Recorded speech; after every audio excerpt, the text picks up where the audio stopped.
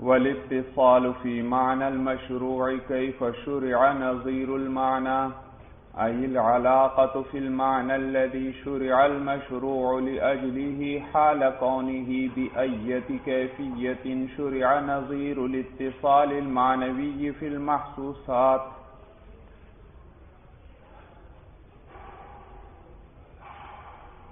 گزشتہ سبق میں بھائی مصنف رحمہ اللہ آپ کو یہ بتلا رہے تھے استعارے کے بارے میں کہ استعارے کا طریقہ کیا ہے، دو چیزوں کے درمیان اتصال کا پایا جانا اور وہ اتصال اعتبار صورت کے ہوگا یا وہ اتصال اعتبار معنی کے ہوگا بھائی؟ اعتبار صورت کے اتصال سے کیا مراد تھا کہ جہاں علاقہ غیر تشبیح کا ہو اور اعتبار معنی کے اتصال کا کیا معنی؟ جہاں علاقہ کیا ہو تشبیح والا ہو۔ اور پھر بتلایا تھا کہ جس طرح صورت اور معنی کے اعتبار سے اتصال پایا جاتا ہے محسوسات کے اندر یعنی ان چیزوں میں جو آنکھوں سے نظر آتی ہیں۔ اسی طرح اتصال پایا جاتا ہے شرعی احکام کے اندر بھی بھائی۔ جو بعض جگہ اتصال صورت کے اعتبار سے ہے، جیسے سبب اور مسبب میں، علت اور معلول کے اندر بھائی۔ تو یہاں اتصال صورت اور مجاورت کے اعتبار سے ہے۔ اب اتصال معنی کے اعتبار سے وہ ذکر کرنے لگے شرعی احکام کے اندر۔ کہتے ہیں ول اتصال فی مان المشروع کئی فشرع نظیر المعنی اور اتصال کا پایا جانا دو چیزوں میں، فی مان اس معنی کے، اس مشروع کے معنی کے اندر کئی فشریا جیسے بھی وہ مشروع ہوا ہو، نظیر المعنی، یہ نظیر ہے کس کی؟ معنی کی۔ یعنی جس طرح بھائی محسوسات کے اندر اتصال معنوی پایا جاتا ہے۔ محسوسات میں کیا ہوتا ہے؟ اتصال معنوی پایا جاتا ہے یعنی وہ دو چیزیں ہوتی ہیں جو ایک معنی کے اندر مشترک ہوتی ہیں، ان میں اشتراک ہوتا ہے۔ اسی طرح بھائی، شریعت کے اندر بھی دو چیزوں کے اندر اتصال پایا جاتا ہے۔ اس معنی کے اعتبار سے، جس کے اعتبار سے وہ چیز مشروع ہوئی تھی، جاری ہوئی تھی بھائی۔ جس معنی کے اعتبار سے وہ چیز مشروع ہوئی ہے، جاری ہوئی ہے۔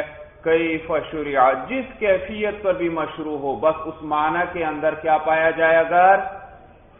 وہ معنی جس کے لیے وہ چیز مشروع ہوئی ہے، اگر اس معنی کے اندر اتصال پایا جائے دو چیزوں میں یعنی ایک کے اندر وہ معنی تھا، دوسری کے اندر بھی وہی معنی پایا جا رہا ہے۔ تو اس صورت میں استعارہ جائز ہوگا یعنی ایک بول کر دوسری چیز مراد لینا جائز، کیونکہ اس معنی کے اندر دونوں میں اتصال ہے۔ جو معنی ایک میں پایا جا رہا ہے، وہی معنی دوسرے کے اندر بھی پایا جا رہا ہے بھائی۔ بات سمجھ میں آ گئی بھائی؟ تو کہتے ہیں ول اتصال فی مان المشروع کئی فشریا اور وہ اور اتصال کا پایا جانا فی مان المشروع، مشروع کے معنی کے اندر کئی فشریا جس کیفیت پر بھی وہ مشروع ہوا ہو، نظیر المعنی، یہ کس کی نظیر ہے؟ معنی کی یعنی اتصال معنوی، جس طرح محسوسات میں اتصال معنوی تھا، اسی طرح یہ شریع چیزوں کے اندر بھی یہ کیا آ گیا، اتصال معنوی آ جائے گا۔ ایل علاقۃ فی المعنى الذي شرع المشروع لاجله یعنی وہ یعنی علاقہ، وہ علاقہ جو کہ اس معنی کے اندر ہے، شرع المشروع لاجله جس کے لیے وہ مشروع شروع ہوا تھا، جس کے لیے وہ مشروع جاری کیا گیا تھا۔ حال کونه بأیت کیفیت شرع، یہ بتلا رہے ہیں متن میں جو کیف شرع آیا، یہ حال واقع ہو رہا ہے بھائی۔ اس حال میں کہ وہ جس کیفیت پر بھی مشروع ہوا ہو، یہ تعمیم کے لیے یعنی جس کیفیت پر بھی مشروع ہوا ہو، جس کیفیت پر بھی جاری ہوا ہو، اگر وہ معنی دوسری چیز کے اندر پایا جا رہا ہے تو ایک کا استعارہ دوسری کے ساتھ جائز ہے بھائی۔ یعنی وہ معنی جو ایک کے اندر پایا جا رہا تھا، جس کیفیت پر وہ مشروع ہوا تھا، وہی معنی دوسرے کے اندر بھی پایا جا رہا ہے، اسی کیفیت پر وہی مشروع ہے، تو ایک بول کر دوسرا مراد لینا جائز ہے بھائی۔ جیسے مولانا محسوسات کے اندر بھائی بہادری والا معنی شیر کے اندر تھا، اسی طرح وہ بہادری والا معنی رجل شجاع میں آیا تو اسد بول کر رجل شجاع کیا ہوا؟ مراد لینا جائز ہوا۔ یہاں بھی اسی طرح ہے۔ جب ایک معنی، وہ معنی ایک میں پایا جا رہا ہے اور دوسری کے اندر بھی وہی معنی پایا جا رہا ہے تو اتصال موجود ہے تو ایک بول کر، ایک، مثلا عقد میں ہوگا، ایک عقد بول کر دوسرا عقد مراد لینا جائز ہوگا بھائی۔ دیکھیے خود مثال بھی آگے ذکر کریں گے۔ تو کہتے ہیں یہ نظیر الاتصال المانوی فی المحسوسات یہ نظیر ہے اتصال معنوی فی المحسوسات کی یعنی جس طرح محسوسات میں اتصال معنوی ہوتا ہے، اسی طرح یہ اس کی نظیر ہے۔ کل اتصال بین الکفالتی والحوالتی، جیسے کہ اتصال کا پایا جانا کفالہ اور حوالہ کے اندر۔ کفالہ اور حوالہ جانتے ہو یا نہیں بھائی؟ کفالہ ضمانت کو کہتے ہیں بھائی، ضمانت۔ مثلا بھائی زید نے آپ کا دین دینا ہے اور عقد کرتا ہے، اس پر اب دین ہے، آپ اس پر اعتماد کے لیے تیار نہیں ہیں کہ پتہ نہیں تم اتنے عرصے بعد دین ادا کرو گے یا نہیں کرو گے۔ تو وہ اپنے ایک ساتھی کو لے آتا ہے، جس پر آپ کا اعتماد ہے۔ وہ ساتھی آپ کو ضمانت دے دیتا ہے کہ میں ضمانت دیتا ہوں کہ زید کیا کرے گا؟ آپ کا یہ دین ادا کر دے گا فلاں تاریخ تک، اور اگر اس نے ادا نہ کیا تو پھر مجھ سے طلب کر لینا، میں ادا کر دوں گا بھائی۔ اس کو کیا کہتے ہیں؟ کفالہ کہتے ہیں بھائی، کفالہ۔ سمجھ میں آیا؟ تو یہ کفالہ نفس میں بھی ہوتا ہے، مال کے اندر بھی ہوتا ہے۔ نفس کے اندر کفالہ کہ اس کو میں حاضر کروں گا، یہ کہیں بھاگے گا نہیں بھائی۔ اور مال کے اندر کہ اگر یہ ادا نہیں کرتا تو میں ادا کر دوں گا۔ تو یہ اردو میں اس کو ضمانت کہتے ہیں بھائی۔ اور کفالہ میں یاد رکھیے بھائی، اصیل جو تھا، جس پر دین تھا، اس سے بھی مطالبہ کیا جا سکتا ہے۔ اور جس نے ضمانت دی ہے، اس سے بھی کیا کیا جا سکتا ہے؟ مطالبہ کیا جا سکتا ہے دونوں سے بھائی۔ تو ضمانت دینے کا یہ معنی نہیں کہ اصیل جس پر دین تھا وہ بری ہو گیا آپ اسے آپ مطالبہ نہیں کریں گے، بلکہ صرف کفیل سے جا کر مطالبہ کریں گے۔ نہیں، کفیل سے بھی مطالبہ کیا جا سکتا ہے وقت آنے پر اور اصیل سے بھی مطالبہ کیا جا سکتا ہے، دونوں سے مطالبہ ہو سکتا ہے۔ اور دوسرا ہے حوالہ حوالہ۔ حوالہ کہتے ہیں دین کو ایک ذمہ سے دوسرے ذمہ کی طرف نقل کرنا، بھائی۔ مثلا آپ پر دین تھا، آپ اپنے ساتھی کو لے آئے اور وہ قرضہ سے کہا بھائی میں دین ادا نہیں کروں گا، بلکہ میری جگہ میرا یہ ساتھی دین ادا کرے گا بھائی آپ کے ساتھی بھی تیار ہے اور اس شخص نے جس قرضہ بھی راضی ہو گیا، ٹھیک ہے بھائی آپ کی جگہ کون دین ادا کرے گا؟ یا آپ کا ساتھی دین ادا کرے گا، تو بس مولانا یہ حوالہ ہے۔ اب وہ آپ سے مطالبہ نہیں کر سکتا، بلکہ کس سے مطالبہ کرے گا؟ جس جس پر آپ نے حوالہ کیا ہے، جس پر، جس نے دین کی ذمہ داری اٹھا لی کہ میں ادا کروں گا۔ اس کو کیا کہتے ہیں؟ حوالہ۔ تو کفالہ کے اندر اصیل بری نہیں ہوتا، جبکہ حوالہ کے اندر اصیل کیا ہو جاتا ہے؟ بری ہو جاتا ہے۔ اس سے مطالبہ نہیں ہوتا پھر بھائی۔ تو یہ دیکھیے، کل اتصال بین الکفالتی والحوالتی، جیسے کہ اتصال کا پایا جانا کفالہ اور حوالہ کے اندر بھائی، کس چیز میں اتصال کا پایا جانا؟ کہتے ہیں فکونی ہما توثیق لدین اس معنی کے اندر کہ دونوں توثیق لدین ہیں، دونوں دین کی مضبوطی کے لیے ہیں، پختگی کے لیے ہیں بھائی۔ دیکھو بھائی، کسی نے ضمانت دے دی یا کوئی شخص دوسرا آپ کی طرف سے دین ادا کر رہا ہے تو مضبوطی آ گئی بھائی، معلوم ہوا۔ اب اس کا دین کیا ہو جائے گا؟ اس شخص کو تسلی ہو گئی کہ میرا دین اب ضرور کیا کر دیا جائے گا؟ ادا کر دیا جائے گا بھائی۔ تو یہ کس لیے ہوا کرتے ہیں؟ دین کی دین کی مضبوطی کے لیے، توثیق کے لیے ہوتے ہیں۔ تو دونوں دین کی توثیق کے لیے تو اس معنی کے اندر دونوں میں اتصال آ گیا۔ کفالہ میں بھی اور حوالہ جیسے کفالہ دین کی مضبوطی کے لیے ہے، اسی طرح حوالہ بھی کس لیے ہے؟ دین کی مضبوطی کے لیے ہے۔ تو دونوں کے اندر یہ معنی پایا گیا جس کے لیے یہ مشروع ہوئے تھے۔ کفالہ بھی دین کی مضبوطی کے لیے مشروع ہوا، حوالہ بھی دین کی مضبوطی کے لیے اور توثیق کے لیے مشروع ہوا بھائی۔ تو لہذا جب دونوں کے اندر اس معنی کے اندر اتصال آ گیا، وہی معنی جو ایک میں پایا جا رہا ہے، وہی معنی دوسرے میں پایا جا رہا ہے۔ تو لہذا یہاں پر ایک بول کر دوسرے کا استعارہ کرنا جائز ہے۔ کفالہ بول کر حوالہ مراد لینا اور حوالہ بول کر کفالہ مراد لینا درست ہے مولانا۔ چنانچہ اگر کوئی شخص آپ سے کہتا ہے کہ میں اس کی ضمانت دیتا ہوں، یہ کیا کرے گا؟ فلاں تاریخ تک دین ادا کر دے گا۔ اور اگر اس نے ادا نہ کیا تو پھر کیا کرو؟ پھر آپ اس تاریخ کے بعد مجھ سے مطالبہ کرنا، اس سے آپ نے جا کر مطالبہ نہیں کرنا۔ کس سے کرنا ہے؟ مجھ سے۔ میں ضمانت دیتا ہوں اس بات کی۔ معلوم ہوا، یہ کفالہ بول کر کیا مراد لے رہا ہے؟ حوالہ کے۔ اصیل اصیل کو بری کر رہا ہے، اس سے مطالبہ نہیں کرنا، بلکہ کس سے کرنا ہے؟ مجھ سے کرنا ہے تو معلوم ہوا یہ لفظوں کے اندر تو وہ کفالہ بول رہا ہے، لیکن مراد اس کی کیا ہے؟ حوالہ، اور کفالہ بول کر حوالہ مراد لینا یہ استعارہ جائز ہے، کیونکہ دونوں میں کیا موجود ہے؟ اتصال موجود ہے بھائی۔ جیسے اسد بول کر رجل شجاع مراد لینا درست ہے مولانا، کیونکہ دونوں کے اندر کیا موجود ہے؟ اتصال مانوی موجود ہے بھائی۔ بات سمجھ میں آ گئی بھائی؟ اسی طرح اگر حوالہ کروایا بھائی، حوالہ کہ بھائی یہ فلاں تاریخ تک کیا کرے گا؟ دین ادا کر دے گا۔ یا ہاں فلاں تاریخ تک دین، میں، بلکہ اس کا دین میں ادا کروں گا فلاں تاریخ تک۔ لیکن شرط یہ ہے کہ یہ بھی بری نہیں ہوگا۔ آپ مجھ سے بھی مطالبہ کر سکتے ہو اور اس سے بھی کیا کر سکتے ہو؟ مطالبہ کر سکتے ہو دین دونوں میں سے جس سے چاہیں آپ وصول کر سکتے ہیں۔ معلوم ہوا وہ لفظوں میں تو حوالہ ذکر کر رہا ہے لیکن ساتھ شرط لگا رہا ہے کہ اصیل بھی بری نہیں۔ معلوم ہوا حوالہ بول کر کیا مراد ہے؟ کفالہ۔ مراد ہے۔ اور استعارہ درست ہے اس لیے کیونکہ دونوں کے اندر اتصال معنوی موجود دونوں کس معنی کے لیے مشروع ہوئے ہیں؟ توثیق لی دین کے لیے دین کی توثیق کے لیے مضبوطی پختگی کے لیے۔ بھائی جی۔ وہ بین صدقتی والہبتی فی کونی ما بغیر عوض اور اسی طرح اتصال کا پایا جانا صدقہ اور ہبا کے اندر۔ ہبا اور صدقہ میں کیا ہے؟ اتصال پایا جاتا ہے۔ بھائی، کس چیز کے اندر؟ کہتے ہیں، فی کونی ما تملیکن بغیر عوض اس معنی کے اندر کہ یہ دونوں تملیک بغیر عوض ہیں۔ دوسرے کو مالک بنانا ہے بغیر عوض کے، بغیر بدلے کے، بھائی۔ سمجھ میں آیا، ایک صدقہ ہے، ایک ہیبا ہیبا جس کو آپ اردو میں تحفہ کہتے ہیں، تحفہ دینا دوسرے کو بھائی۔ اس کے اندر دوسرے سے بدلہ نہیں لیا جاتا بھائی۔ تو لہذا صدقہ میں بھی کیا ہے؟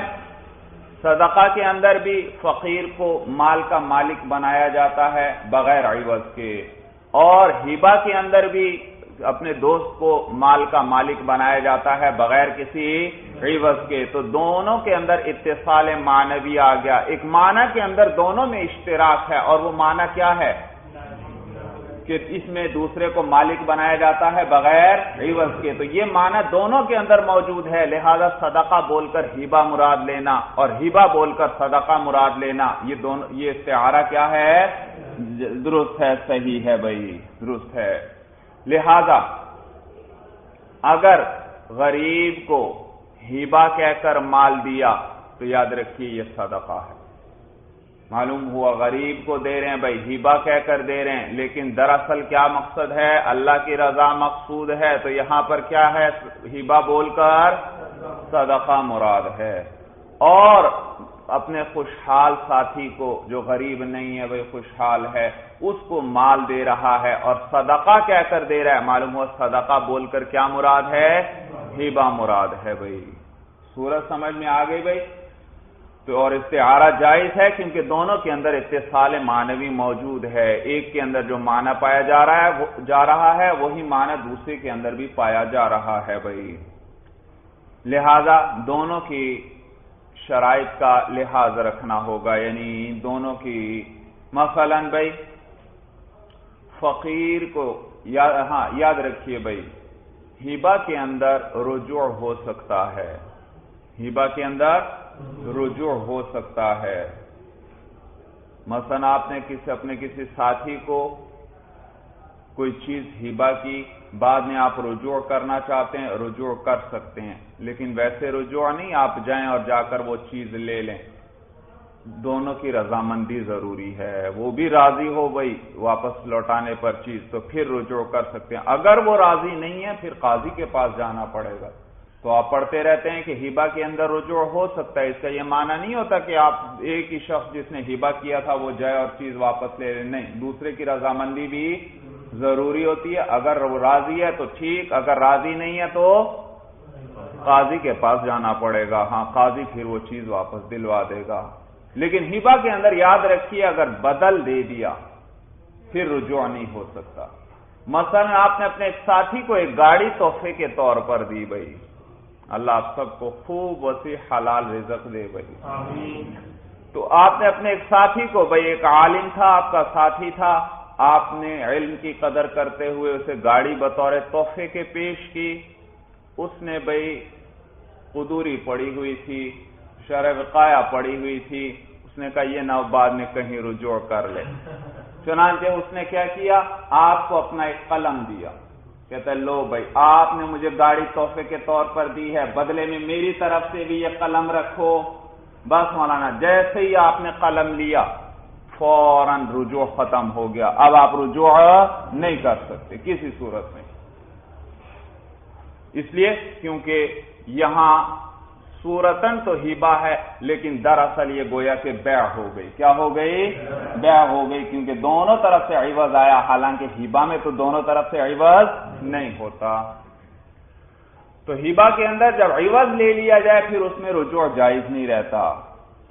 تو سمجھ میں آئے ویسے ہیبا میں رجوع ہو سکتا ہے، جبکہ صدقہ کے اندر رجوع نہیں ہو سکتا بھائی۔ صدقہ کے اندر رجوع نہیں ہو سکتا۔ بھائی، یہ کیا وجہ یہ بھی تملیک بغیر عوض کے ہے، پھر اس میں رجوع کیوں نہیں ہو سکتا؟ وجہ یہ مولانا کیا ابھی ضابطہ بتلایا، جب عوض لے لیں تو پھر رجوع نہیں ہو سکتا اور صدقہ میں بھی جیسے ہی آپ نے فقیر کو مال دیا، فوراً ثواب آپ کو مل گیا، عوض آپ کو مل گیا۔ جب عوض مل گیا تو اب رجوع نہیں ہو سکتا بھائی۔ تو لہذا کسی شخص کو کیا کیا؟ فقیر کو ہیبا کہہ کر مال دیا۔ لیکن کیا ہیبا رہا ہے؟ لیکن دراصل یہ کیا ہے؟ صدقہ ہے اور اب اس میں رجوع نہیں ہو سکتا۔ اور کسی امیر کو خوشحال کو مال دیا صدقہ کہا تو دراصل یہ کیا ہے؟ ہیبا ہے اس میں رجوع ہو سکتا ہے۔ تو کہتے ہیں، کل اتصال بین الکفالت والحوالت فی کونہما توثیقا للدین. جیسے کہ اتصال کا پایا جانا کفالہ اور حوالہ کے اندر، اس معنی کے اندر کے دونوں توثیق للدین ہیں، وہ بین الصدقت والحبت، اور اتصال کا پایا جانا صدقہ اور حبہ کے اندر، فی کونہما تملیکا بغیر عوض. اس معنی کے اندر کے دونوں میں مالک بنانا ہے بغیر عوض کے وہ امثال ہو اور اس کی مثل اور اتصالات اور عقود کے اندر. ثم بعد ذلك ترك المصنف رحمه الله تفصيل الاتصال المعنوي وذكر بعض انواع الاتصال الصوري ليبتني جی.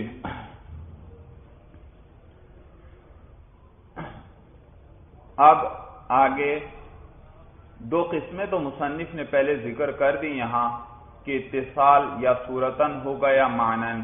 اتصال صورتن جیسے سببیت اور تعلیل میں ہے اور اتصال معنوی کی مثال بھی ذکر کر دی شارح نے۔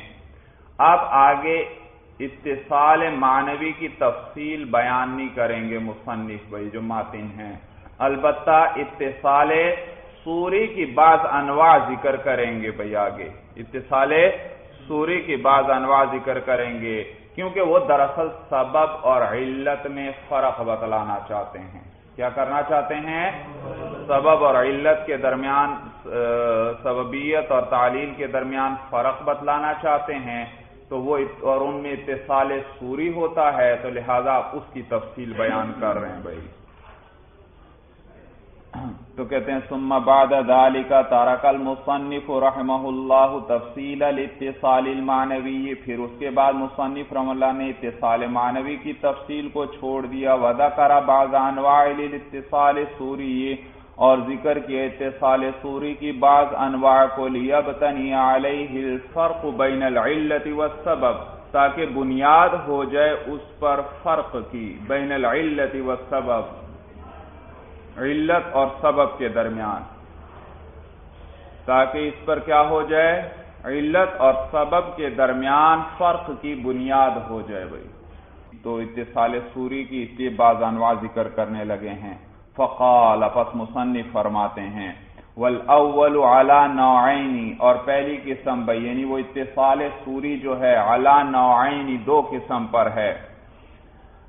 الاتصال من حیث السببیت والتعلیل يتنوع على نوعین یعنی وہ اتصال جو سببیت اور تعلیل کی حیثیت سے ہے، وہ تقسیم ہوتا ہے علی نوعین دو قسم پر لأن السببیت نوع آخر والتعلیل نوع آخر، اس لیے کہ سببیت ایک دوسری نوع ہے اور تعلیل دوسری نوع ہے۔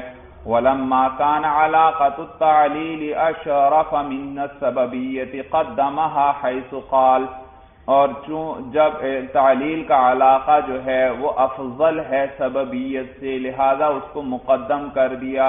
اس طور پر کہ یوں فرمایا بھائی دیکھیے، اب دو قسمیں بیان کرنی ہے ایک میں علاقہ سببیت والا ہے، ایک میں علاقہ تعلیل والا ہے، لیکن تعلیل کا علاقہ افضل ہے اس لیے کیونکہ علت جو ہے وہ علت پر حکم کا دار و مدار ہوتا ہے بھائی۔ اگر علت ہے تو حکم بھی ہے، علت نہیں تو حکم بھی نہیں۔ تو حکم جو ہے وجود اور عدم کے اعتبار سے اس کا دار و مدار علت پر ہے۔ جبکہ سبب کے اندر ایسا نہیں ہے مولانا کہ سبب ہو تو مسبب ہو، سبب نہ ہو تو مسبب نہ ہو، وہاں ایسا نہیں ہے۔ تو یہ علاقہ جو تعلیل والا ہے، چونکہ افضل ہے، کیونکہ اس میں حکم کے وجود اور عدم کی نسبت کس کی طرف کی جاتی ہے؟ علت کی طرف کی جاتی ہے، لہذا اس کو پہلے ذکر کر رہے ہیں۔ چنانچہ فرماتے ہیں قدمہ اسی لیے اس کو کیا کر دیا؟ تعلیل کا علاقہ چونکہ افضل تھا، اس لیے اس کو مقدم کر دیا۔ حیث قال، اس طور پر کے فرمایا؟ احدهما الاتصال الحکم بالعلتی۔ ان دو علاقوں میں سے ایک علاقہ کیا ہے؟ حکم کا اتصال کس کے ساتھ؟ علت کے ساتھ اتصال ملک بھی شرائی جیسے ملک کا اتصال شرا کے ساتھ۔ بھائی شرا علت ہے، خریدنا علت ہے اور ملکیت کیا ہے؟ اس کا معلول ہے، اس کا حکم ہے مولانا۔ تو ان دونوں کے درمیان اتصال ہے مولانا۔ تو جی تو یہ علت معلول والا اتصال ہوا۔ وَإِنَّهُ يُوجِبُ الْإِسْتِعَارَةَ مِنَ الطَّرَفَيْنِ اور یہ ثابت کا یوجب ایسبتو اور یہ جو اتصال ہے، یہ ثابت کرتا ہے استعارہ طرفین سے۔ یعنی دونوں طرف سے استعارہ صحیح ہے۔ یعنی علت بول کر معلول مراد لینا بھی صحیح اور معلول بول کر علت مراد لینا بھی صحیح ہے۔ دونوں طرف سے استعارہ ہو سکتا ہے۔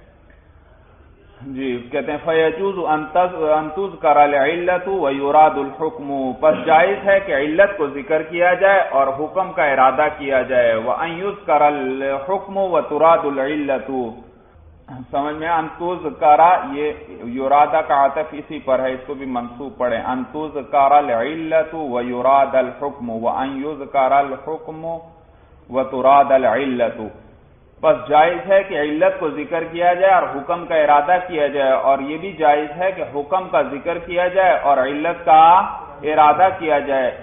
لأن الحکم يحتاج الى العلتی جی یہاں سے یہ بیان کر رہے ہیں کہ یاد رکھیے کہ استعارے کے اندر اصل یہ ہے کہ محتاج الہ کو ذکر کیا جائے اور محتاج کا ارادہ کیا جائے بھائی۔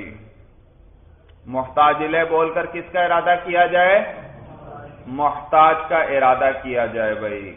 اور کہتے ہیں علت اور معلول دونوں کے اندر بھائی، محتاج الہ ہونے کا معنی بھی موجود اور محتاج ہونے کا معنی بھی موجود۔ کس طرح؟ دیکھیے، حکم جو ہے وہ ہے محتاج۔ کس کا محتاج ہے؟ علت کا۔ علت ہوگی تو حکم ہے۔ علت نہیں تو حکم بھی نہیں۔ تو حکم کون ہوا؟ محتاج۔ اور علت کیا ہوئی؟ محتاج الہ ہوئی ہوئی۔ اور علت محتاج ہے حکم کی، اپنے مشروع ہونے کے اعتبار سے، کیونکہ وہ علت مشروع ہی کس لیے ہوئی ہے؟ اس حکم کے لیے شرا مشروع ہی کس لیے ہوئی ہے؟ اس کی جائز ہی کس وجہ سے ہے؟ جاری کس لیے کی گئی ہے؟ کیا مقصد ہے شرا کا؟ ملکیت کا حاصل ہونا۔ تو ملکیت حکم ہے مولانا شرا کا۔ تو اس علت، تو یہ علت اپنے مشروع ہونے میں کس چیز کی محتاج ہوئی؟ حکم کی۔ حکم ہے تو یہ علت بھی ہے۔ حکم نہیں تو یہ علت بھی چنانچہ لہذا شرا۔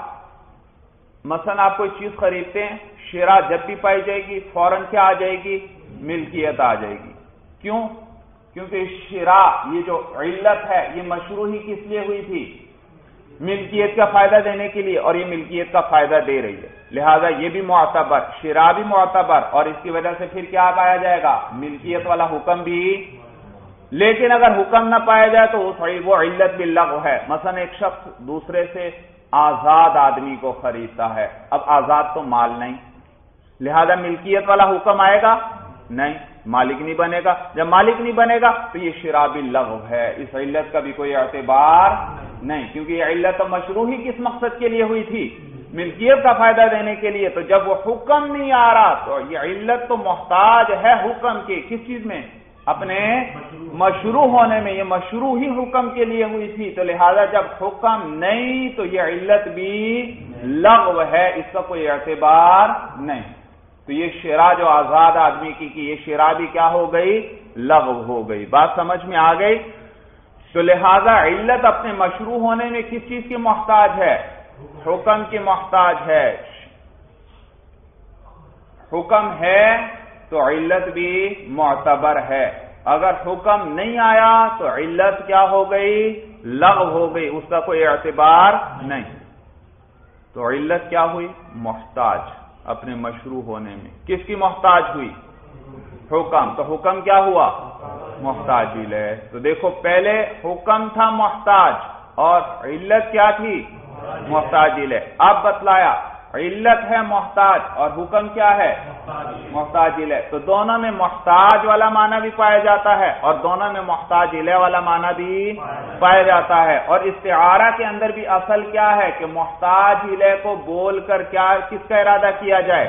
محتاج کا۔ اور دونوں کے اندر محتاج والا معنی ہے، اور دونوں کے اندر محتاج علیہ والا معنی ہے۔ لہذا ایک بول کر دوسرے کو مراد لینا درست ہے۔ لہذا ملک بول کر شرا مراد لینا، اور شرا بول کر ملک مراد لینا درست ہے۔ لہذا ایک آدمی کہتا ہے انش طرح تو آبدن فہوا خرون اگر میں نے کوئی غلام خریدا تو وہ آزاد ہے۔ بعد میں وہ کہتا ہے شیرا بول کر میرا کیا ارادہ تھا؟ ملکیت کا ارادہ تھا۔ کہتے ہیں استعارہ صحیح ہے مولانا۔ استعارہ کیا ہے؟ کیونکہ شیرا اور ملک میں کون سا علاقہ ہے؟ علت معلول والا علاقہ ہے اور وہاں جانبین سے استعارہ صحیح، لہذا شیرا بول کر ملک مراد لینا صحیح۔ اور اسی طرح ایک آدمی کہتا ہے، ان ملک تو ابدن فہو حرن۔ بعد میں وہ کہتا ہے، ملک بول کر کیا مراد تھی؟ شیرا مراد تھی۔ کہتے ہیں یہ استعارہ بھی صحیح، کیونکہ جانبین سے یہاں استعارہ صحیح، تو ملک بول کر شیرا مراد لینا اور شیرا بول کر ملک مراد لینا دونوں صحیح ہیں بھائی۔ تو انہوں نے کہا دونوں طرف سے استعارہ صحیح ہے الحکم يحتاج الى العلت اس لیے کیونکہ حکم جو ہوتا ہے وہ محتاج ہوتا ہے علت کا، من حیث ثبوتی اپنے ثبوت کی حیثیت سے، ثابت ہونے کی حیثیت سے حکم تبھی ثابت ہوگا جب کیا پائی جائے؟ علت پائی جائے۔ والعلت محتاجت والعلت محتاجت الى الحکم، اور علت کیا ہے؟ محتاج ہے کس کی؟ حکم کی، من حیث الشرعیتی، مشروع ہونے کی حیثیت سے۔ اسلام تشرع العلت الا للحکمی اس لیے کیونکہ علت مشروع نہیں ہوئی الا للحکمی مگر اس حکم کے لیے ہی۔ فجال افتقار من الطرفین، تو احتیاج آ گئی دونوں طرف سے، دونوں طرف سے احتیاج آ گئی۔ والاصل فی الاستعارت ان یذکر المفتقر الیہ ویراد المفتقر۔ اور اصل استعارہ میں یہ ہے کہ مفتقر علیہ مفتقر علیہ کو ذکر کیا جائے اور مفتقر کا ارادہ کیا جائے یعنی محتاج علیہ کا ذکر کیا جائے اور محتاج کا ارادہ کیا جائے۔ فتح الاستعارت من الجانبین تو استعارہ صحیح ہے دونوں جانب سے، کیونکہ دونوں میں مفتقر علیہ اور دونوں میں مفتقر والا معنی موجود ہے۔ حتی اذا قال یہاں تک کہ اگر کسی شخص نے یوں کہا انش ترائی تو عبدن فہو اگر میں نے کوئی غلام خریدا تو وہ آزاد ہے، یہ کسی شخص نے کہا۔ وہ نوا بہل مل کا اور اس کے لیے اس نے نیت کس کی کی؟ ملکیت کی۔ اوقال یا کسی شخص نے یوں کہا، ان ملک تو ابدن فہوا حرن. اگر میں کسی غلام کا مالک ہوا تو وہ آزاد ہے۔ وہ نوا بھی شرا اور اس نے نیت کس کی کی؟ شرا کی یعنی ملک بول کر شرا کی نیت کی۔ کہتے ہیں یوسف فیہ ما دیانتن تو اس کی تصدیق کی جائے گی ان دونوں کے اندر۔ دیانتن دیانتن کیا کی جائے گی اس کی؟ تصدیق کی جائے گی مولانا بیانتن کیا مانا؟ یعنی یہ اس کے اور اللہ کے درمیان معاملہ ہے بھائی، ہم تو نیت نہیں جانتے، لیکن وہ کہہ رہا ہے کہ میری نیت کیا تھی؟ شرا بول کر ملک، یا ملک بول کر شرا تھی۔ تو اور استعارہ تو دونوں طرف سے صحیح ہے۔ لہذا اب یہ اس کے اور اللہ کے درمیان کا معاملہ ہے۔ دیانتن اس کی تصدیق کی جائے گی۔ بھائی، کسی مفتی سے جا کر اگر وہ فتوا پوچھتا ہے کہ میں نے شرا بول کر ملک مراد لی تھی یا ملک بول کر شرا مراد لی تھی، تو مفتی اس کے مطابق اس کو فتوا دے دے گا۔ بھائی، اس کی دیانتن کیا کی جائے گی؟ تصدیق کی جائے گی۔ مفتی سے اگر پوچھتا ہے تو مفتی کہے گا بھائی کہ اگر آپ کی نیت یہ تھی، یہ نیت کی جائے تو پھر مسئلہ اسی طرح، اس طرح ہوگا۔ سورت سمجھ میں آ گئی اس کی نیت کے مطابق اس کو فتوا بتلا دے گا بھائی۔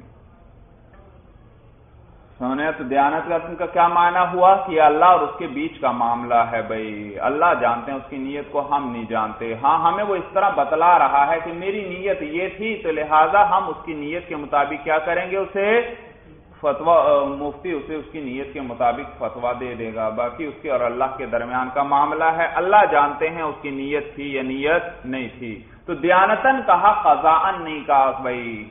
سمجھا قضاءن یعنی اگر قاضی کے پاس چلا جائے پھر اس طرح نہیں بھائی۔ قاضی کے پاس چلا جائے تو پھر اس طرح نہیں، ہر صورت میں تصدیق نہیں ہوگی، آگے شرح کے اندر ذکر آ جائے گا بھائی، تفصیل آ جائے گی۔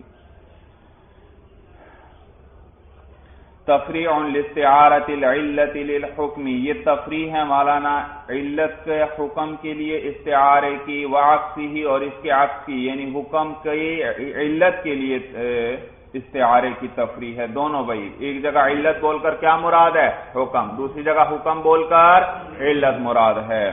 فن شرا علت والمل کا معلول۔ اس لیے کہ شرا علت ہے اور ملک معلول ہے۔ والاصل في الشراء ان لا يشترط الاجتماع الكل في الملك والاصل في الملك ان يشترط الاجتماع عرفا. جی. شراء کے اندر یاد رکھیے مولانا اصل یہ ہے ضابطہ یہ ہے کہ کل کا اجتماع کل کے اجتماع کی شرط نہیں ہے ملک جی. کل کے اجتماع کی ملکیت میں ساری چیز کی مجتمع ہونے کی، اکٹھا ہونے کی شرط نہیں ہے شرا میں۔ جبکہ ملکیت کے اندر یہ ہے کہ کل چیز ملکیت میں اکٹھی ہونی چاہیے۔ عرف میں، لوگوں کے عرف میں یہ سمجھا جاتا ہے بھائی۔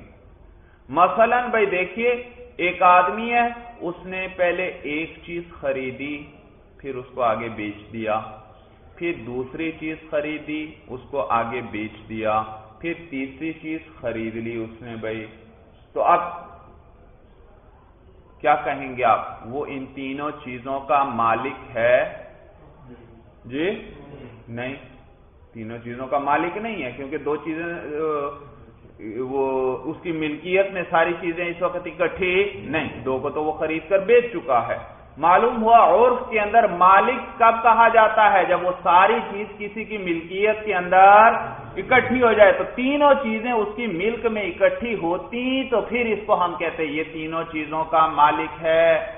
لیکن اس وقت تو تینوں چیزیں اس کی ملک میں اکٹھی، لہذا کبھی بھی یہ نہیں کہیں گے یہ تینوں چیزوں کا مالک ہے۔ کوئی بھی نہیں کہے گا اس کو بھائی عرف کے اندر۔ سمجھ میں آیا؟ معلوم ہوا ملک کے اندر کیا ضابطہ ہے؟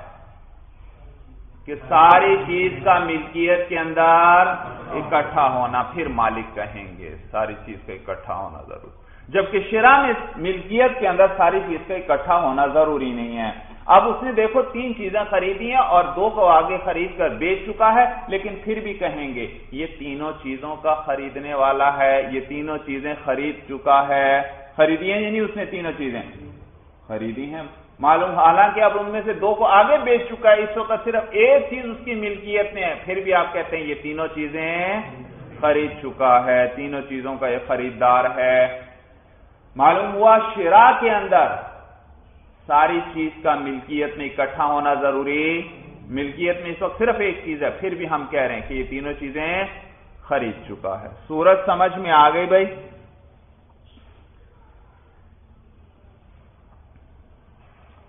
تو کہتے ہیں ول اصل فی شرائی اور شرا کے اندر اصل یہ ہے کہ اللہ یوش طرح تجتماع الکل فی المل کی کہ شرط نہیں ہے ساری چیز کی جمع ہونے کی ملکیت کے اندر ول اصل فی المل کی اور ملک کی ملکیت کے اندر اصل یہ ہے کہ یوش طرح اجتماع عرفا، کہ ساری چیز کا اکٹھا ہونے کی شرط ہے عرفن عرف میں یعنی عام لوگوں کے اندر بھائی. فینش تارا نصف عبدن اگر کسی نے خریدا نصف غلام کو۔ دیکھیے بھائی، اس نے کیا کہا تھا پہلی صورت میں؟ انش طرح تو اب دن حرن، اگر میں نے کوئی غلام خریدا تو وہ آزاد۔ اس نے پہلے آدھا غلام خریدا اور پھر اس کو بیچ دیا آدھے کو آگے۔ پھر بقیہ کے آدھے غلام خرید لیا۔ وہی والا غلام، باقی نصف بھی خرید لیا۔ کہتے ہیں یہ دوسرا نصف جیسے خریدے گا آزاد ہو جائے گا۔ اس لیے کیونکہ اس نے کیا کہا تھا؟ اگر میں نے کوئی غلام خریدا تو پورا غلام کا خریدنا پایا گیا یا نہیں بھائی؟ ملکیت میں تو اس وقت آتا ہے، لیکن شرا کے اندر ملکیت میں سارے اکٹھے ہونے کی شرط ہی نہیں ہے۔ شرا کے اندر ساری چیز کا خریدنا بس ضروری ہے۔ تین چیزیں اگر خریدی ہیں تو ہم کہیں گے ان تین چیزوں کا خریدنے والا ہے۔ غلام اس نے آدھا آدھا کر کے دو حصوں میں خریدا ہے یا دس حصوں میں بے شک خرید لے۔ تو آگے خریدتا گیا اور جو پہلے خریدا تھا وہ حصہ آگے بیچ دیتا ہے۔ تو جب غلام پورا ہو جائے گا شرا کے اندر پورا غلام آ جائے گا تو اس وقت جو حصہ اس کی ملکیت میں ہے وہ آزاد ہو جائے گا۔ تو لہذا اس وقت اس نے آدھا غلام تو پہلے ہی آگے بیچ دیا تھا اور آدھا غلام اب اس کی ملکیت میں ہے۔ تو اب پورا غلام خرید لیا یا نہیں خرید لیا۔ اور اس نے بھی کہا تھا انیش طرح تو آپ دن ہو کہ میں جب پورا ایک غلام خرید لوں گا تو وہ آزاد ہے۔ لہذا اس وقت آدھا غلام تو اس کی ملکیت میں نہیں ہے۔ وہ تو پہلے بیچ چکا ہے، وہ تو آزاد نہیں ہوگا۔ لیکن یہ جو آدھا ہے جو اس کی ملکیت میں ہے، یہ کیا ہو جائے گا؟ آزاد ہو جائے گا۔ سورج سمجھ میں آ گئی بھائی۔ لیکن اگر اس نے یہ کہا تھا، ان ملک تو آبدن فہو غرن۔ اگر میں کسی غلام کا مالک ہوا تو وہ آزاد ہے۔ چنانچہ اس نے پہلے آدھا غلام خریدا، پھر اس کو آگے بیچ دیا۔ پھر بقیہ آدھا غلام بھی اس نے وہی والا خرید لیا اور آپ مولانا، اس نے کیا یہ نصف ثانی آزاد ہوگا یا نہیں ہوگا بھائی؟ نہیں ہوگا، کیونکہ یہ سارے غلام کا مالک نہیں۔ اس نے تو کہا تھا، ان ملک تو عبدن، اگر میں ایک غلام کا کیا ہوا؟ مالک ہوا۔ اور یہ ایک غلام کا مالک ہے؟ نہیں، یہ تو آدھے غلام کا اس وقت مالک ہے۔ تو ملکیت کے اندر پوری چیز کا جمع ہونا ضروری ہے۔ تو کہتے ہیں فین اس طرح نصف دن بس اگر خریدا کسی نے نصف، اس شخص نے اگر خرید دیا نصف غلام کو وبا ہو اور اسے بیچ دیا تم مشترا نصف الآخر پھر باقی دوسرے نصف کو بھی خرید لیا۔ یا نصف تو آزاد ہو جائے گا یہ والا نصف۔ کس صورت شرائی؟ کس کے اندر؟ شرا کی صورت میں، یہ خریدنے کی صورت میں۔ لا فی صورت المل کی ملکیت کی صورت میں یہ آدھا باقی آزاد نہیں یعنی اگر اس نے ملک تو کہا تھا، پھر یہ آدھا آزاد نہیں ہوگا۔ اور یہ جی تو یہ جو شیرا کی صورت میں دوسرا آدھا کیا ہو جائے گا؟ آزاد۔ اور ملکیت کی صورت میں دوسرا آدھا آزاد نہیں ہوگا۔ کہتے ہیں یہ بھی اعتبار المان الحقیقی۔ کس اعتبار سے ہے؟ مانے حقیقی کے اعتبار سے ہے۔ یعنی شرا بول کر شرائی مراد ہوگا۔ ملک بول کر ملک. ہی مراد ہو تو اس وقت یہ مسئلہ اس طرح ہے بھائی۔ فہین قالا اگر اس نے یوں کہا ارد تو بھی احد ہی مل آخرا کہ میں نے ارادہ کیا ہے ان دونوں میں سے ایک کے ذریعے دوسرے کا یعنی ملک بول کر شیرا مراد ہے اور شیرا بول کر ملک مراد ہے۔ کہتے ہیں دقف صورتیں دیانتن تو اس کی تصدیق کی جائے گی دونوں صورتوں میں دیانتن بھائی۔ یہ اللہ اور اس کے درمیان کا معاملہ ہے۔ مفتی سے مسئلہ پوچھے گا تو مفتی کیا کرے گا؟ اس کی نیت کے مطابق اسے فتوا دے دے گا۔ لسے کیوں بھائی؟ کیوں؟ دیانتن اس کی تصدیق کیوں کی جائے گی دونوں صورتوں میں؟ کہتے ہیں لسے حت الاستعارتی، بوجہ استعارہ کے صحیح ہونے کی، کیونکہ استعارہ دونوں طرف سے صحیح ہے بھائی۔ دونوں میں اتصال علت معلول والا ہے اور اس میں دونوں طرف سے استعارہ صحیح ہوتا ہے۔ فیاتق نصف العبد الباقی فی صورت ما نوشراء بالملکی پس آزاد ہو جائے گا باقی کا نصف غلام بھی۔ اس صورت کے اندر جب اس نے نیت کس چیز کی کی تھی؟ شرا کی کی تھی۔ کس کے ذریعے؟ ملکیت کے ذریعے۔ اس نے کہا تو یہ تھا، ان ملک کو عبدن فہوا حر۔ اس کلام کا حقیقی معنی کیا تقاضا کرتا ہے؟ بقیہ نصف غلام کو خریدے تو آزاد ہونا چاہیے یا نہیں ہونا چاہیے؟ ملکیت بول کر کیا کون سی صورت ہے؟ ہاں ملکیت بول کر شرا کا ارادہ کیا۔ بقیہ نصف غلام آزاد ہوگا یا نہیں؟ ہو جائے گا، کیونکہ ملکیت کیا ہے تو ان ملک تو رہا ہے، لیکن ارادہ کس کا؟ شرا اور شرا میں تو سارے کا جمع ہونا ضروری نہیں۔ لہذا نصف غلام جو باقی کا ہے وہ آزاد ہو جائے گا۔ ولن یاتق فی صورت ما نول مل کا بھی شرائی اور آزاد نہیں ہوگا غلام اس صورت کے اندر جبکہ اس نے ملکیت کی نیت کی ہے، شرا کے ذریعے۔ کیسے؟ اس نے کہا تو انش ترائی تو تھا۔ لہذا انش ترائی تو میں۔ لیکن ارادہ کس کا کیا اس نے؟ ملکیت کا۔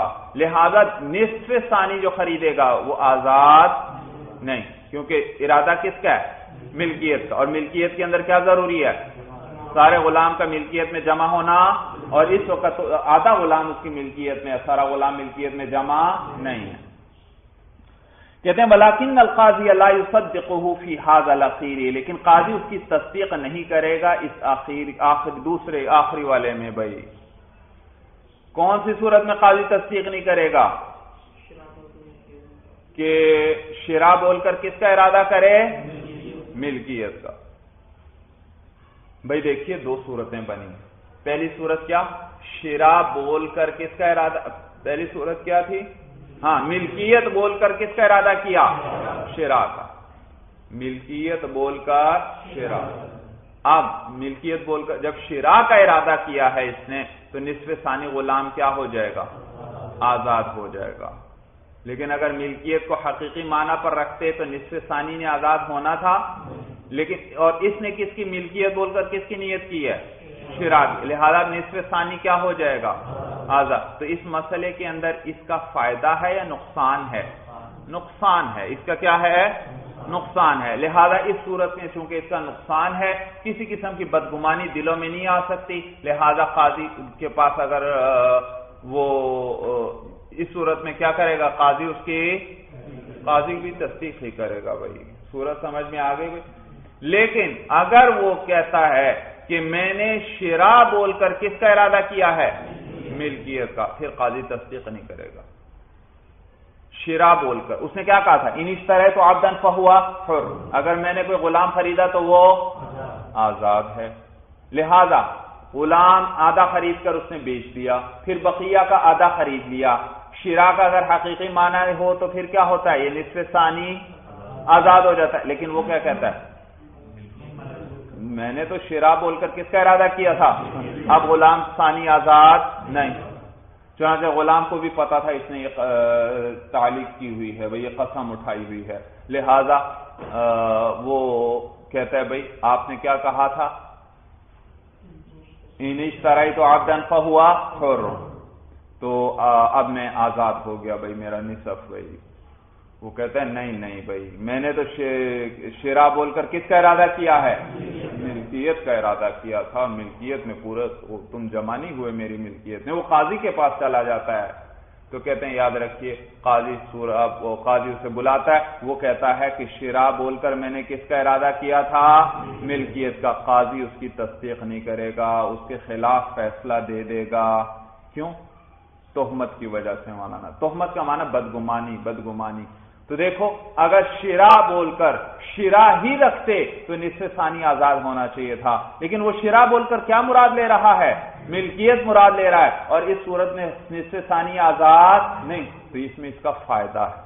اس کا معلوم ہوا یہ غلام، یہ چاہتا ہے غلام میرے ہاتھ سے نہ نکلے۔ غلام میرے ہاتھ سے نہ نکلے۔ تو یہ اپنے فائدے والی صورت اختیار کر رہا ہے۔ تو دلوں میں بدگمانی آتی ہے کہ لگتا ہے یہ اپنے نفع کے لیے کیا کر رہا ہے؟ جھوٹ بول رہا ہے۔ تو لہذا اس صورت میں چونکہ اس کے لیے آسانی ہے، اس کا فائدہ ہے، تو قاضی تہمت کی وجہ سے اس کی تصدیق نہیں کرے گا بھائی۔ تو کہتے ہیں ولاکن القاضی فی هذا الاخير لیکن قاضی تصدیق اس کی نہیں کرے گا اس آخری صورت کے اندر لانه نوا تخفیفا علیہ اس لیے کیونکہ اس نے اپنے لیے تخفیف کی نیت کی ہے فیصیر متهما فی هذه النیتی تو وہ کیا ہو جاتا ہے؟ متہم ہو جاتا ہے اس نیت کے اندر یعنی اس کے بارے میں بدگمانی آتی ہے مولانا۔ ہاں قالو اسی طرح علماء نے فرمایا ہے، شارح فرماتے ہیں، یہ علماء اسی طرح اس مقام پر یہی تقریر کرتے ہیں جو میں نے کی ہے۔ علیہ لیکن اس پر اعتراض کیا گیا ہے۔ بھائی دیکھیے، پہلی صورت کے اندر تصدیق کرے گا قاضی، دوسری صورت کے اندر قاضی تصدیق نہیں کرے گا، کیونکہ وہ اپنے لیے کیا طلب کر رہا ہے؟ آسانی اور سہولت کو، غلام اس کے ہاتھ سے نہ نکلے۔ شرا بول کر وہ کس کا ارادہ کر رہا ہے؟ لہذا قاضی اس کی تصدیق نہیں کرے گا۔ اور پہلی صورت کون سی تھی؟ ملکیت بول کر شرا کا ارادہ کر رہا ہے۔ اس میں چونکہ اس پر سختی ہے تو لہذا قاضی اس میں تصدیق کرے گا۔ اس پر بعض علماء نے اعتراض کیا کہ نہیں۔ پہلی صورت میں بھی اس پر تخفیف ہے، لہذا اس صورت میں بھی قاضی کو اس کی تصدیق نہیں کرنی چاہیے۔ تخفیف کیسے ہے بھائی؟ اس نے تو کہا تھا، ان ملک تو آبدن ان ملک تو آبدن اور ان ملک تو کی صورت میں نصف ثانی، حقیقی معنی کے اعتبار سے آزاد ہوگا یا نہیں؟ نہیں ہوگا، کیونکہ پورا غلام ملکیت میں جمع، لیکن وہ کہتا ہے ملکیت بول کر کیا ارادہ ہے؟ شراط نصف ثانی کیا ہو جاتا ہے؟ آزاد ہو جاتا ہے۔ تو ان ملک تو بول کر معلوم ہوا شرا کے ارادے میں قاضی اس کی کیا کرے گا؟ اس کی تصدیق کہتے ہیں، نہیں، یہاں پر بھی وہ اپنے لیے تخفیف طلب کر رہا کہتے ہیں، کیسے بھائی؟ کہتے ہیں اس لیے کیونکہ اس نے کہا تھا ان ملک تو اور کیا کہہ رہا ہے؟ ارادہ کس کا ہے؟ حالانکہ مالک بننے کی کئی صورتیں ہیں۔ مالک وہ کسی غلام کا بن جاتا ہے بطور وراثت کے اسے مل جاتا ہے۔ کوئی اسے ہیبا کر دیتا ہے۔ سورج سمجھ۔ یا اسے کیا کر لیتا ہے؟ خرید لیتا ہے۔ سمجھ میں آیا بھائی؟ تو دیکھو یا اسے کوئی وسیعت کر دیتا ہے مرنے سے پہلے کسی شخص نے وسیعت کر دی کہ اے میرا غلام فلاں کو دے دینا۔ تو مالک ان ملکتوں میں کئی صورتیں آ جاتی تھیں۔ شرا کے ذریعے بھی مالک بنے تو بھی غلام کیا ہو جاتا ہے؟ آزاد۔ اچھا۔ ہیبا کے ذریعے غلام کا مالک بنے۔ تو اس نے تو کہا تھا ان ملک تو یہ تو نہیں کہا نا اشترائی تو۔ ان ملک تو مالک بنے، جس صورت میں بھی مالک بنے، غلام کو کیا ہونا چاہیے؟ آزاد ہونا چاہیے۔ چاہے وہ شرا کے ذریعے بنے، چاہے وہ ہیبا کے ذریعے بنے، چاہے وہ وسیعت کے ذریعے بنے، یا چاہے تو وہ وراثت کے ذریعے بنے بھائی۔ چاروں صورتوں میں غلام آزاد ہونا چاہیے۔ تو چار صورتیں تھیں، ان ملکتو کے اندر داخل ہو رہی تھیں۔ لیکن اس نے کیا کہا؟ ان ملکتو بول کر میرا کس کا ارادہ ہے؟ ان تو ملک بول کر میرا شرا کا ارادہ ہے۔ تو ملکیت کی تو چار صورتیں تھیں۔ اس نے ملکیت کو کس میں صورت میں بند کر دیا؟ شرا میں۔ تو تخفیف آ گئی یا نہیں آ گئی مولانا؟ جی اس صورت میں چاروں صورتوں میں غلام آزاد ہوتا تھا۔ اب صرف خریدنے کی صورت میں غلام آزاد ہوگا، باقی صورتوں میں آزاد نہیں ہوگا۔ تو لہذا اس صورت میں بھی تو وہ اپنے لیے کیا کر رہا ہے؟ تخفیف کو طلب کر رہا ہے۔ تو شارح جواب دیں گے مولانا۔ کہتے ہیں بھائی ہاں ٹھیک ہے، یہ اعتراض ہوتا ہے، لیکن ماتین پر نہیں ہوتا، کیونکہ ماتین نے قزان کی بات ہی نہیں کی، انہوں نے صرف دیانتن کی بات کی ہے کہ دیانتن کیا کی جائے گی؟ اس کی تصدیق کی جائے گی۔ ہاں دیگر مصنفین جنہوں نے اس کو ذکر کیا قزان کو بھی ساتھ ذکر کیا، ان پر یہ اعتراض ہوتا ہے۔ لیکن اس کا بھی پھر کہتے ہیں بھائی، اکثر کا اعتبار کیا جاتا ہے۔ اور اکثر جو انسان کسی چیز کا مالک بنتا ہے، وہ شرا کے ذریعے بنتا ہے۔ وراثت وسیعت اور ہبا کے ذریعے کبھی کبھار ہی کسی چیز کا مالک بنتا ہے۔ تو اکثر کا اعتبار ہے، لہذا اس صورت میں خزان اس کی تصدیق کی جائے گی اور دوسری صورت میں خزان تصدیق نہیں کی جائے گی۔ تو کہتے ہیں وہ رضا علیہ اور اس پر اعتراض کیا گیا ہے کہ ان نفس صورت الا ایزن تخفیف علیہ کی پہلی صورت کے اندر بھی اس پر تخفیف ہی ہے، آسانی ہی ہے لی ان الملک کان عام کان اعم من ان یکون بالشراء او بالهبه او بالوصیه او بالارث اس لیے کیونکہ ملکیت جو تھی وہ عام تھی کہ وہ یا تو شرا کے ذریعے ہو یا ہبا کے ذریعے ہو یا وسیعت کے ذریعے ہو اور بالعرف یا وراثت کے ذریعے ہو۔ وہ شرا یکخص سب ابھی معین منہا اور شرا تو کیا ملکیت کو کیا کر دیتی ہے؟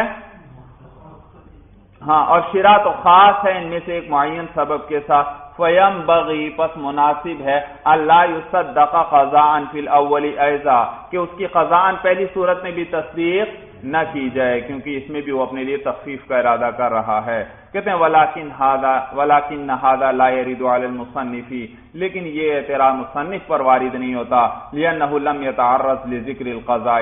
اس لیے کیونکہ وہ قضاء کے ذکر کے در پہ ہی نہیں ہوئے، اس کے پیچھے ہی نہیں پڑے یعنی اس کو ذکر ہی نہیں کیا انہوں نے سرے سے۔ وہذا كله اذا قال عبدا منکرا اور یہ سارا مسئلہ اس صورت میں ہے جب اس شخص نے عبدا نکرا کہا ہو۔ ان اشتریت عبدا۔ کیا کہا ہو؟ عبدا کا لفظ نکرا کہا ہو۔ اور اگر معرفہ کہا، ان اشتریت العبدا۔ یعنی کوئی معین غلام۔ کسی معین غلام کی طرف اشارہ کیا کہ اگر میں اس غلام کا کو میں نے خریدا یا اس غلام کا میں مالک ہوا، تو اس صورت کے اندر یاد رکھیے مولانا، اب اجتماع اور متفرق ہونے کا کوئی اعتبار نہیں ہے۔ چاہے نشترائی تو کہا ہو، چاہے ان ملک تو کہا ہو، دونوں صورتوں کے اندر غلام کیا ہوگا؟ آزاد ہو جائے گا بھائی۔ صورت سمجھ میں آ گئی؟ دونوں صورتوں میں۔